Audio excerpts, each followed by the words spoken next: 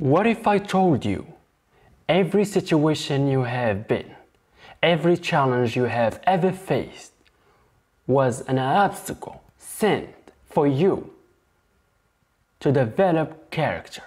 And that character, if developed, will lead you to your best life, will lead you to the best version of you. What if you knew those challenges were sent for your benefit?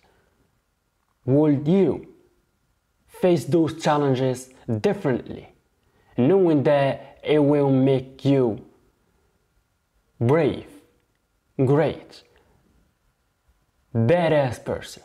If you choose to see it that way, one way fight against life, and the other one leads to a life that can handle just about anything.